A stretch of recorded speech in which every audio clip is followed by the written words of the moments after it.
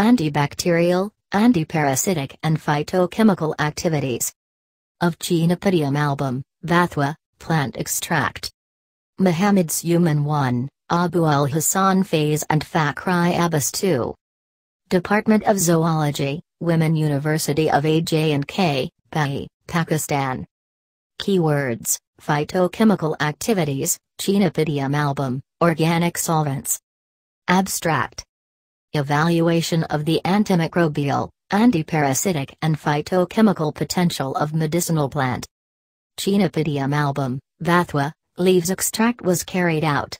The plant extracts were prepared by using distilled water and methanol as an extraction solvents.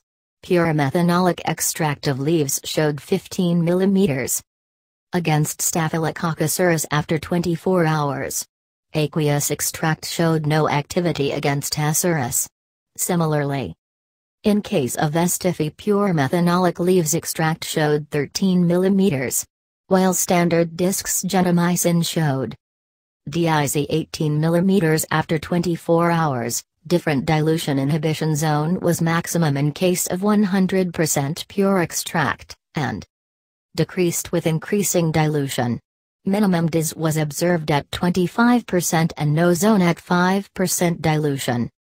Anthelmintic activity of crude methanolic extract of C. album leaves were tested, all extracts showed maximum corrected mortality of 100%, aqueous extract showed better antiparasitic activity than methanolic extract.